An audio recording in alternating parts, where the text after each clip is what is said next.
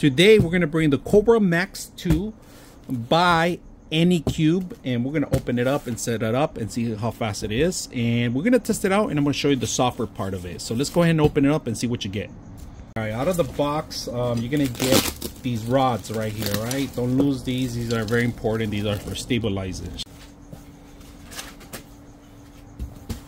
Um, here's the actual system. It's all within one. We're going to stand it up right now and set it up uh, the, the screen all right you're gonna have to plug it in right here in the back. Uh, they give you all the allen wrenches and look at that. They give you all the allen wrenches the screws the nuts pretty much everything you require power for the filament and the main system itself. You guys see it's a touch based system so it's still gonna have to do the old-fashioned way by touching. I like that the piece comes on one single piece so you could replace it maybe upgrade down the line maybe even put a laser cutter. So I'm gonna open it up. Let's set it up. So in order to completely remove you're gonna have to take off the plate if you guys can see. The four plates and four sides so you guys can stand it up. So go ahead and do that.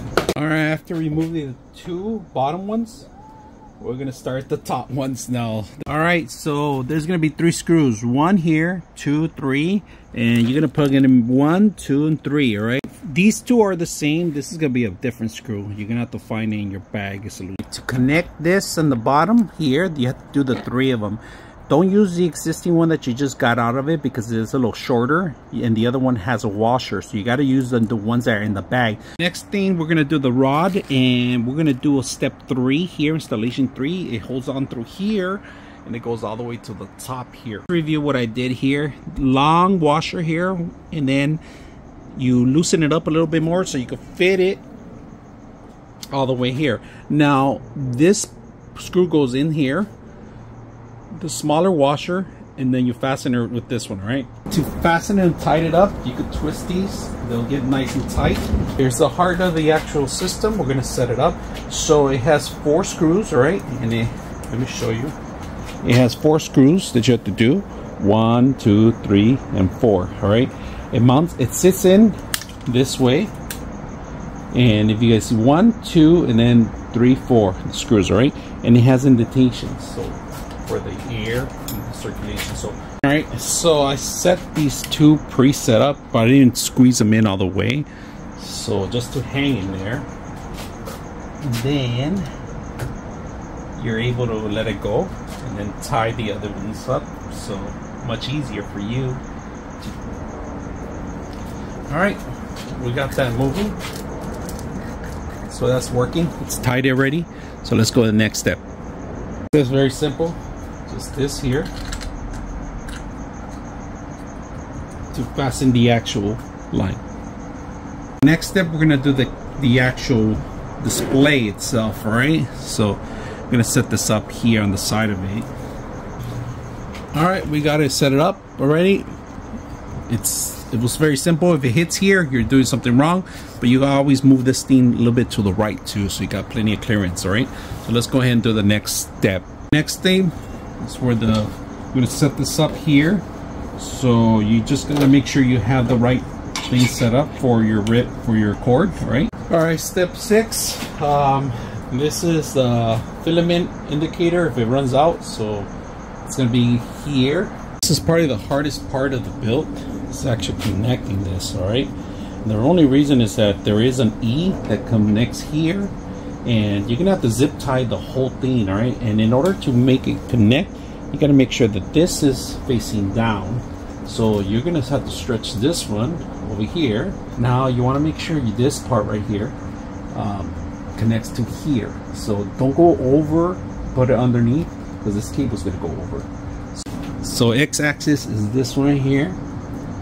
This is the one that we're gonna plug in first so don't forget it says X all right next part we're gonna cable manage it and they give you this ribbon grabber. All right just fixed it and you can test it out. Make sure that it's not hitting anything all right? It's not gonna hit anything. Make sure you test it out when you're actually setting it up. So last step besides the actual antenna i'm to set it up. It's just a little antenna you screw in. Uh, it's just to tighten up the fasteners make sure it's on the rail. If it's off the rail you can control the actual angle of it. Uh, make sure you test it out with your hand uh, physical and visualization on on the it's on the actual metal piece on the rod. Like I said, last part, the antenna. We are gonna put our camera here, which I like at that. Uh, tied up just a little bit the the actual bands here. Uh, connect this. That's the last part. Connect the side, the Z the Z axis too. And that's all right. We're gonna turn it on. First time turning this on. So let's go and start. So we're gonna do English. Next, uh, global. Next, and then we're gonna put in our wireless information. I'm not gonna show you guys that. We set up our wireless. Confirm wireless is on.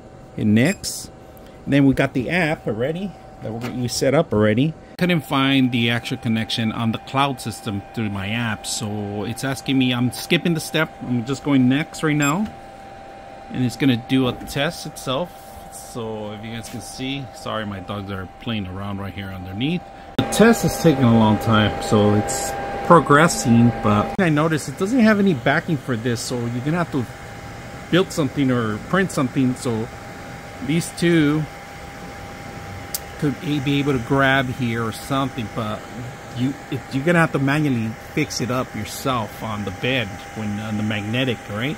So that's gonna be something an issue. I maybe have to print out something for it.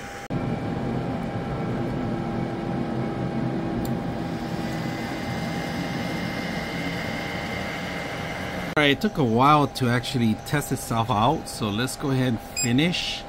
Uh, it says float filament, we did. Next confirm it's gonna check itself now. So you are gonna need a lot of space especially because of this tray but I'm gonna try to put that on the top of it uh, somewhere on the on the top. I'm gonna print something out or I'm just gonna attach it to it because this is best if it's on the top.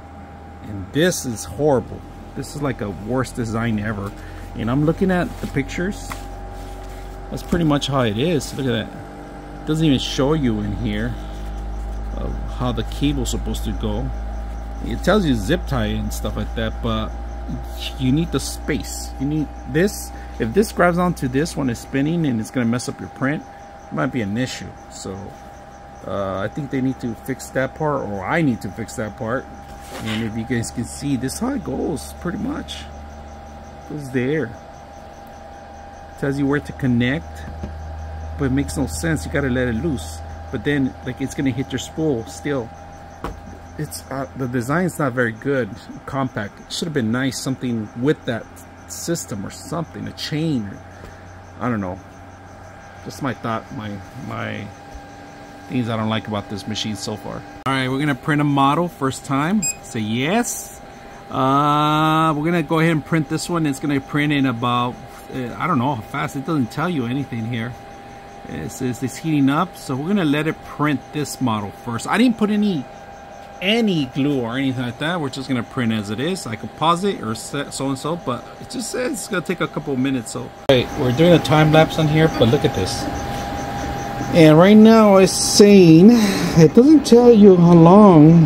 It just says percentage wise, but I don't have a timer. A lot of these systems don't have timers. Some of them do, like the ones I have, but some of them, mostly are coming on like this because they're not estimating anymore.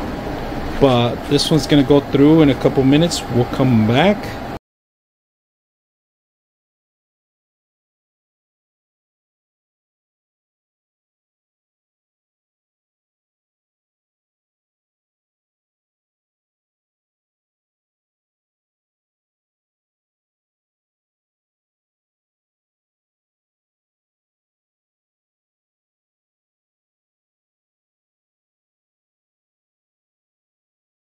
This thing took about 12 minutes, it says.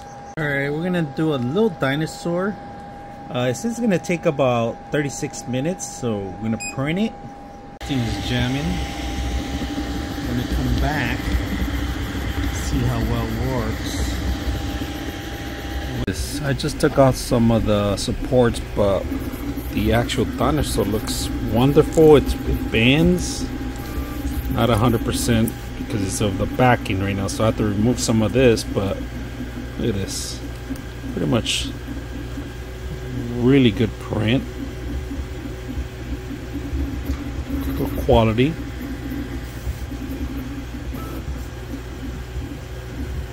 Hope you guys enjoy the video.